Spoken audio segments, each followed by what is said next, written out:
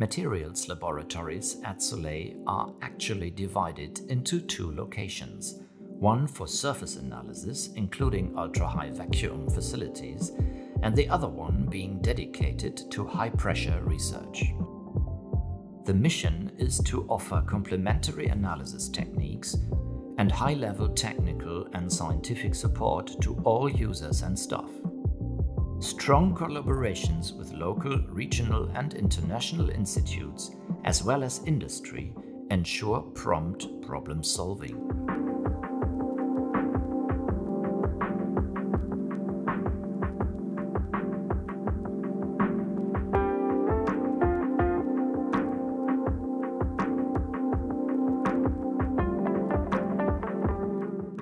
Access is realized via the Soleil batch system. Entering the materials laboratory surface part, you immediately see the control panel of the Scanning Tunneling Microscope or STM. Scanning tunneling microscopy is the central complementary technique to several synchrotron-based techniques since it allows for real space observation with angstrom resolution.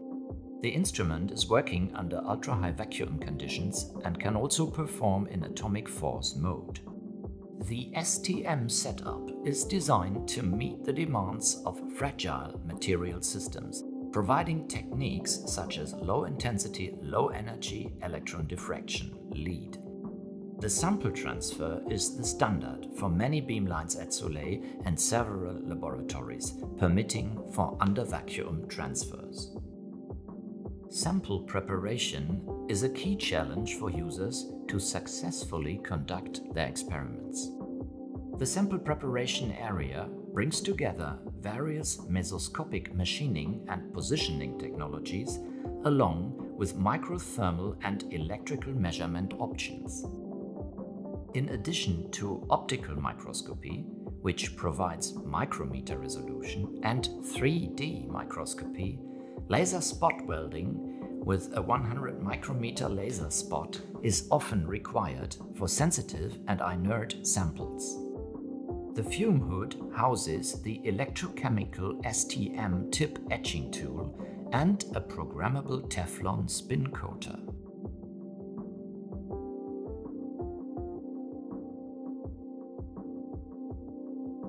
Atomic force microscopy can be employed for fast surface analysis down to approximately 15 nanometers under atmospheric conditions.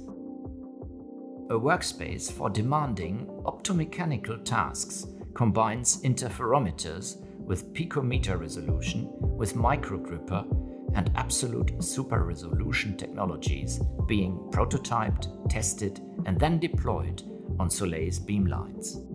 The optical profilometer Firebolt resolves about 1 micrometer in the lateral directions and offers even nanometer level vertical resolution using massive parallel interferometry. Easy to use, it can map a square millimeter in just a fraction of a second, thanks to a custom development with industry. The 3D maps can easily be exported into flexible formats.